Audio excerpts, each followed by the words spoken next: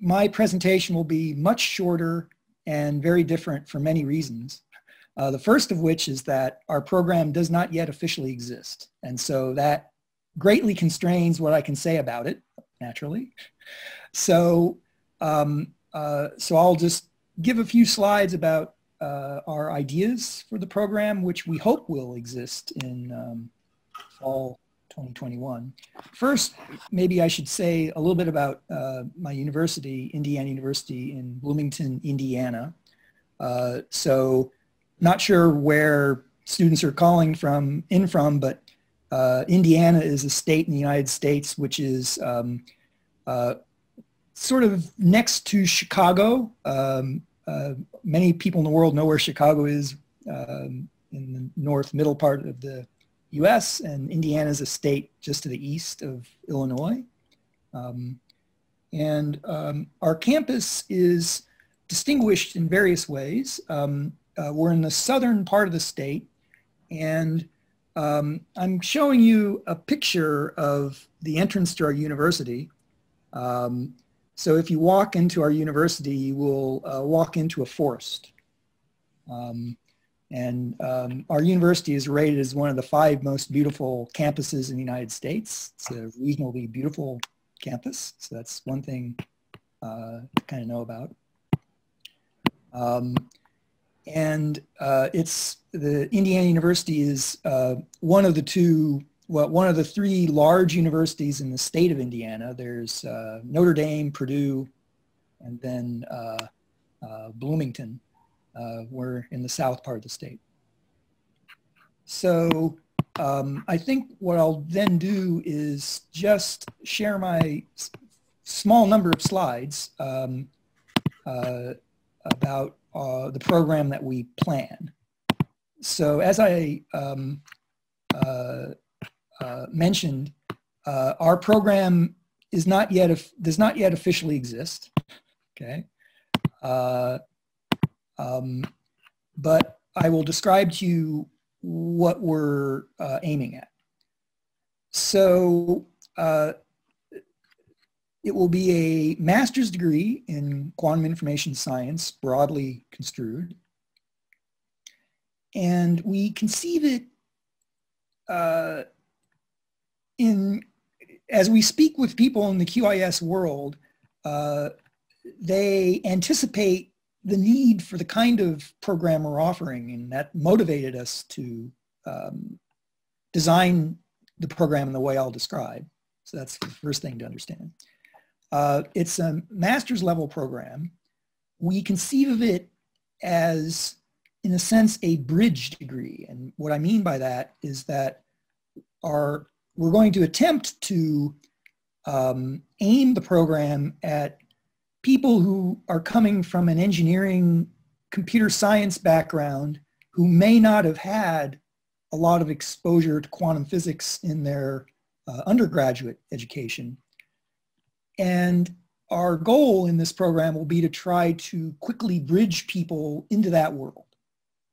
Okay? And that's, uh, uh, the, I, that's the main assumption behind the program. Okay? So it's very different from uh, uh, the Delft program and, and some, some of the others that you'll, that you'll hear about.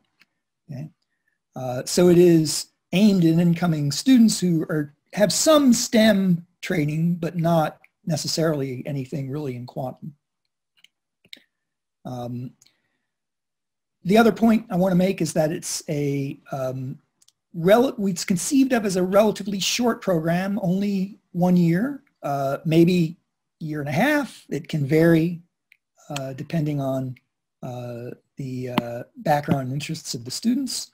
Uh, and it will consist both of coursework and some time of a research project. So that's an ambitious thing to try to do in a year, year and a half, but that's what our, our goal is going to be. Um, it will be a residential program. It's, we will have some online component, but not the most, of course. As you may know, if you've been looking into the QIS world, there's an explosion of online offerings from companies and various universities. Uh, uh, we are not going to do go that direction very much, but um, so it's a residential degree program. And the idea behind that, in part, is so that we can uh, kind of bring people together from different backgrounds and, and educate them as a cohort of, of students. Uh, and uh, our experience in other uh, degree programs uh, where people are coming from varying backgrounds um, tells us that that's a good thing to try to do, that it uh, can enhance the educational experience to, to do it that way. It's a relatively broad uh, program. Uh, we've got uh, participants from uh, three different university schools, our um, College of Arts and Sciences, the engineering program, and then uh, our business program. Uh, so all of these different areas have some representation. and then the other thing that we'll do in this program which is very common, of course, in many QIS programs, is that because many of them are new, um, we, at the same time we're developing and offering the program, we have to, in parallel, evaluate the effectiveness of our education. And this is uh, um, one of the great challenges in education in this QIS world is that we definitely have to broaden the set of people who know about quantum concepts and uh, uh, in order for this uh, revolution to happen. And that's an educational challenge. Not all uh, of the answers for how to do this in the best way are known. And so uh, we in parallel will be evaluating that. So those are some of the properties that our program uh, will have once gets approved. Um, the organization will be along different tracks. So uh, the, the, the tracks are organized around activities that already exist at Indiana University Bloomington. Um, uh, one track is quantum computation simulation. Another is quantum materials and sensing. And a third are quantum applications and operations research. Um, and uh, what I list here um, on the left are just a few examples of some of the um, uh, activities, research activities that we have going on uh, here at IUB, um, which can serve as possible um, research topics. Uh, and uh, the way this would work would be there would be uh, the usual combination of, of, coursework, of course, um, uh, and, uh, and then some towards the, um, in parallel during the, the years of activities. What this means is that when we offer our program, we're going to need to interact with students uh, at a relatively early stage to try to identify their specific interests uh, and tune uh, our um, individual projects uh, and match them to, uh, to our capabilities. So, um, so I, I have, you know, list of courses and various things, but again, since our program's not yet official, uh, it's not, um, a, a um, uh, probably doesn't make a whole lot of sense to go into the detail on that. I should just say that we've already been offering different uh, quantum courses in various departments in the university already. And um, so all of that development exists and we're bundling them together uh, in a coordinated way to offer this uh, master's degree. So what's the status? So um, uh, uh, as with many of these quantum information degree programs, uh, because it's uh, geared towards either a professional degree that you might then get a job after the MS, or alternatively, uh, in our case, you might use it as a way to jump into a PhD program in QIS. Either way might, might happen. Uh, so we've assembled various uh, advisors from, from this world um, who are, uh, will help guide us in uh, uh, how we, our offerings develop. Um, what's happening right now as I speak is hope, hopefully next week, uh, uh, the state of Indiana Higher Education Commission will approve our program. so we've got, we've satisfied N minus one of the steps. okay. Uh, and I really wish I could have announced that, yes, we're finally official, but I can't do it yet because they haven't met. Uh, I don't foresee any difficulty in getting approval for this master's degree. Maybe I should back up and say that uh, almost anywhere in the world, certainly the US, if you're offering a new degree program, you have to um, uh, get many levels of approval within the university and then within the state uh, that um, accredits higher education in that part of the US. So we've been doing those, starting those steps uh, and are now at the uh, threshold of approval. Um, so that's why I can't announce that we officially exist. We just can't, I can't quite say it. And for that reason as well, because I can't say that, I also can't share, you know, uh, any details about admissions requirements or anything like that because we can't officially say that until we're approved. You know, uh, usual um, uh, chicken and egg problem. But uh, we're we're ready to pounce. Once we get approval, we're going to uh, uh, um, uh start uh, uh, showing things that in more detail. So our goal is to have accept a first cohort of students this fall, in, sorry, in fall 2021, I should say. Um, and because of the direction we're aiming this program, namely to try to bring people who have a BS STEM education but may not have a quantum background, we don't see a lot of other programs that are headed, they're trying to do this. And for that reason, we're going to have to be especially flexible uh, as we start this program to, to really figure out um, how best to do it. And so there is an experimental aspect to this activity uh, that I think anybody who's um, you know, considering us as a possibility ought to keep in mind. Um, uh, it's, uh, it's not obvious to us yet who might be interested in this type of approach.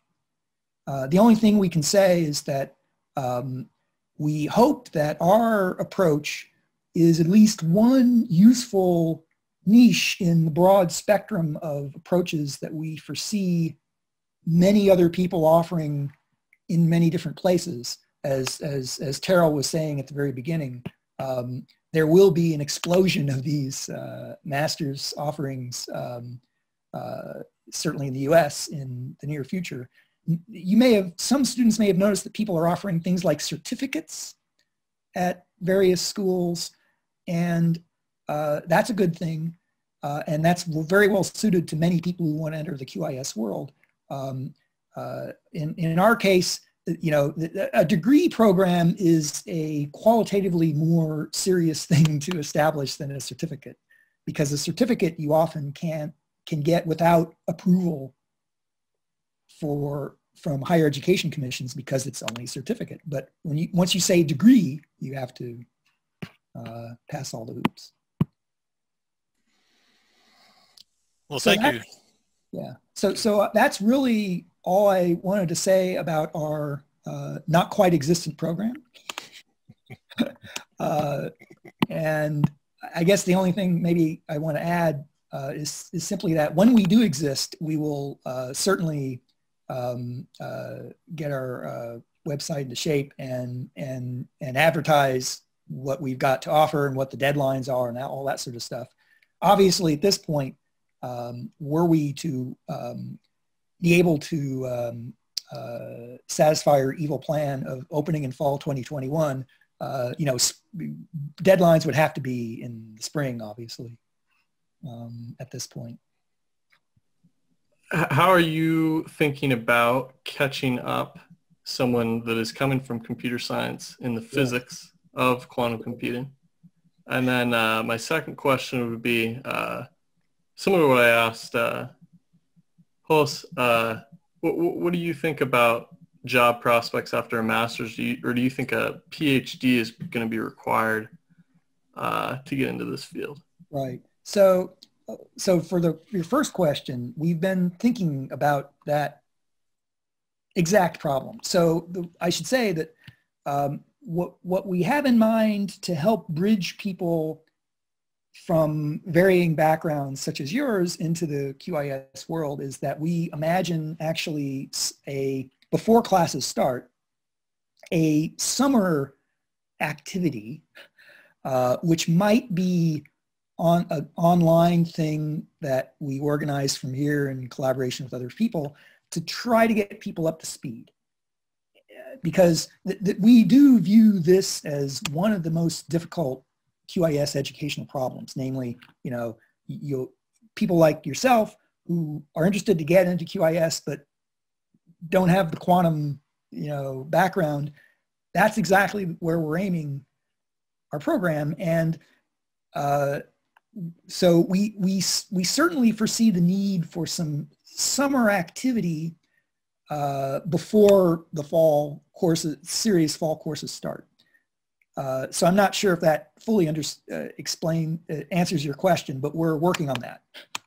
Gotcha, gotcha. Yeah, I well, I, I also, you know, during during my bachelor's program, I, you know, I've taken some computer vision courses, some machine learning courses, and linear algebra, you know, uh, all the mathematics classes that seem like prereqs to this type of stuff. So in my mind, I'm thinking, okay, well, you know, maybe this is something that you could get caught up on uh, fairly quickly, but I wasn't sure uh, kind of what, what someone in the field would think about how, how quickly that would be possible or how many classes that might take. So. Yeah, well, certainly your linear algebra background will definitely help, okay, because that's uh, needed for the quantum formalism.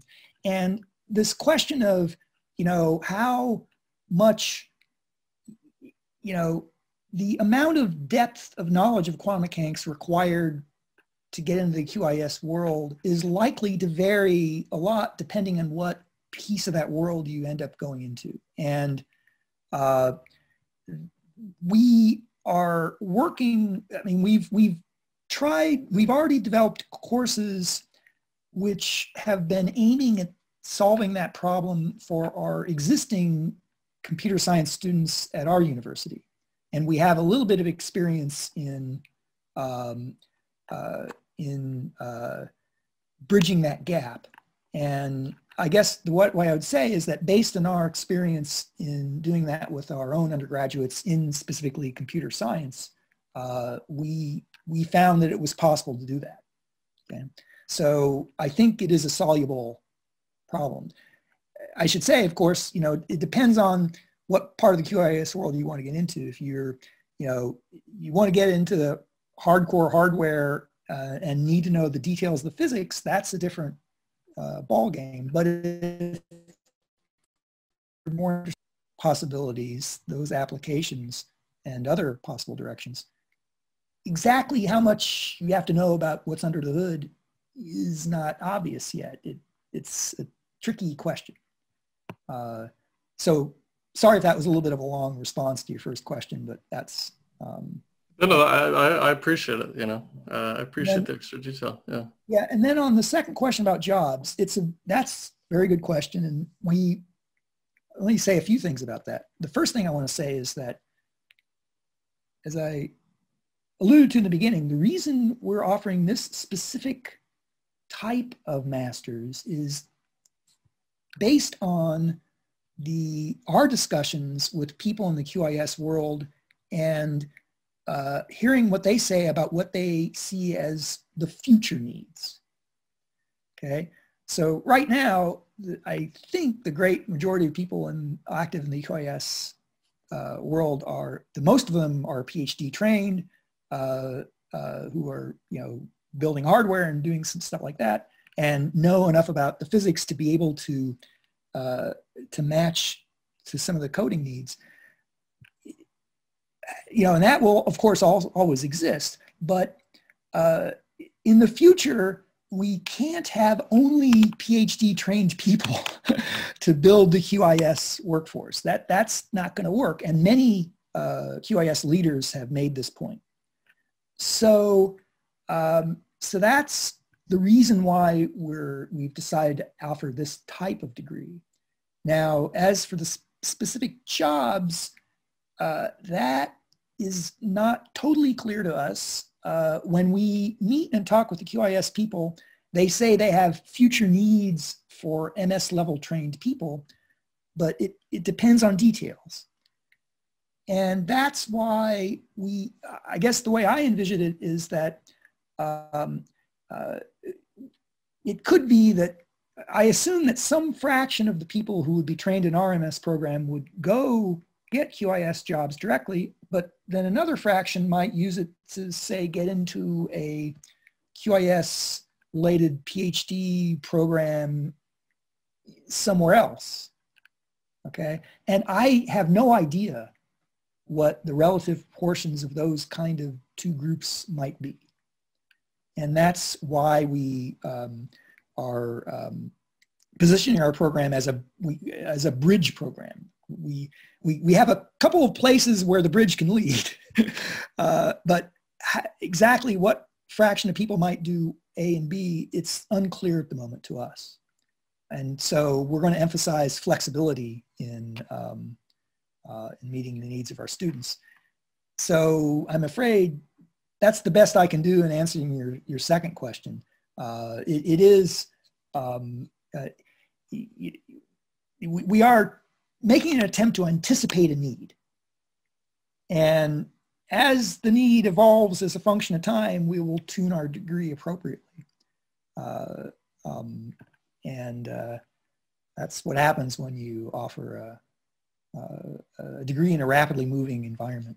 Um, you have to give different uh, shots at this kind of um, training to see what's really going to work. And um, that's what I can tell you. Gotcha. Yeah, that's. Uh, I, I, I appreciate the adaptability because uh, definitely, from what you're saying, it definitely seems like you're it's something you're gonna have to kind of build uh, yeah. your, yourself towards, you know, a specific goal almost.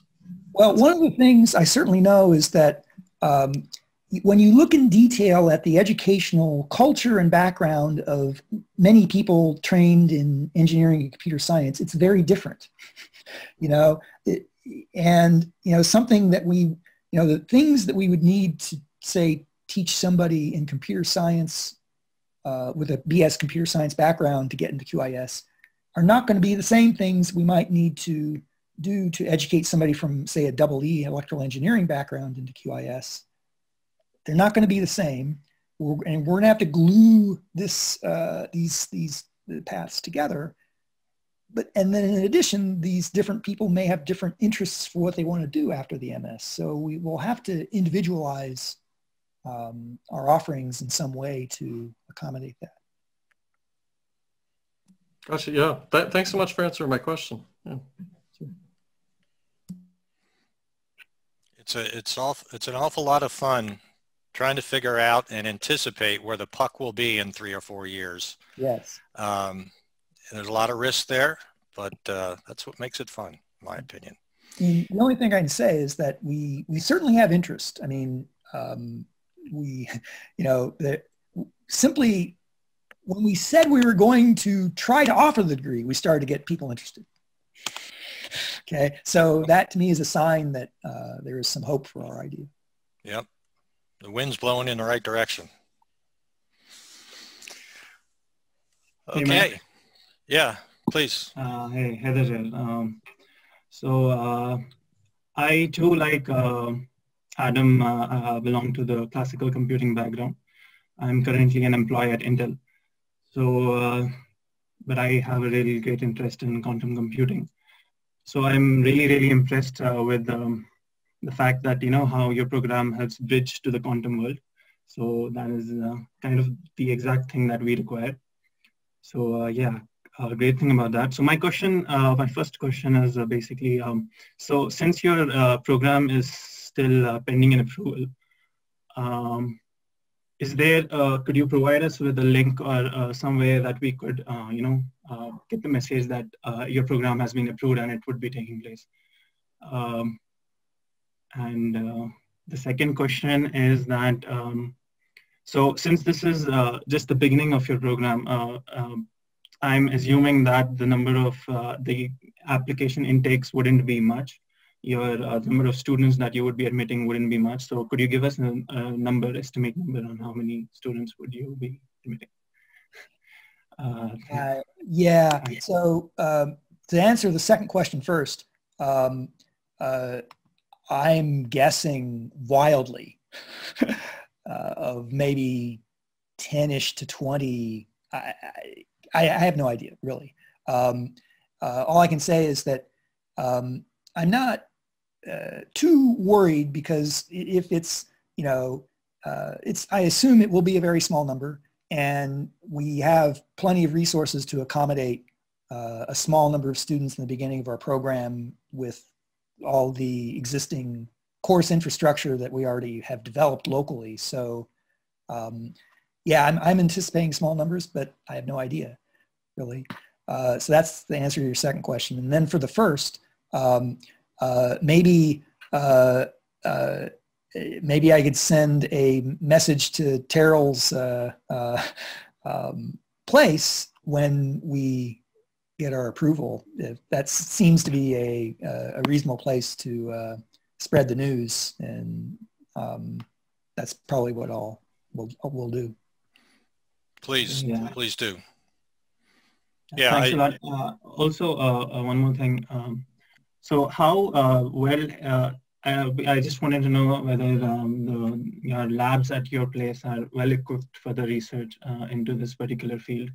So could you give some insight on that?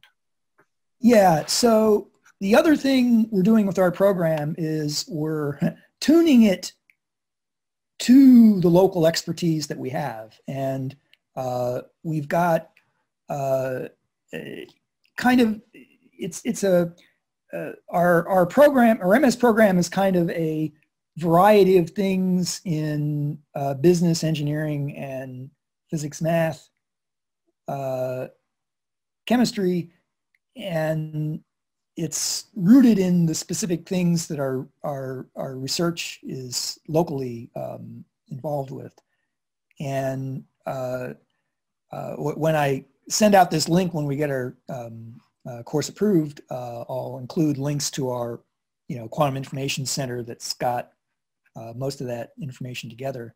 Um, so we, you know, we we are not um, we're we're not a one-stop shopping place for anything. Definitely not. Um, uh, so there's some there's a a few a, a, specific set of specific things that we're, we're we do in the QIS world, but uh, by far, there's many, the great majority of things we don't do. So uh, that should be kept in mind um, when, uh, if you apply, uh, need to take a close look at, um, at the details of our activities um, uh, to make sure it's a good match for you. Great, uh, thanks a lot. Okay, in the interest of time, um, Mike, thank you very much. I'm I'm excited. Uh, I know you've got fans out there. I know people are sending me stuff about your program as it advances. So, uh, uh, and include me in that fan club too, because again, you know, uh, it's it's all about raising the education for the whole ecosystem. So, I, I personally, I think you're you're spot on with your strategy because that's that's what I see as well for whatever that's worth. But uh, yeah, so we'll be watching and uh, folks, I'll be certainly doing my best to have the most recent information as things develop in uh, not only uh, in Indiana, but also other programs. So I'll try to keep that website evergreen and useful for you because uh, we all want you to uh, move forward on your education. So, okay, Mike, thank you. Any last parting words before I, we, we go off to the lovely University of Wisconsin? No, other than that, I've, uh, I've been done scientific collaboration work with people at UW as well. So I uh, have many positive things uh, to say about uh, Wisconsin. Yep.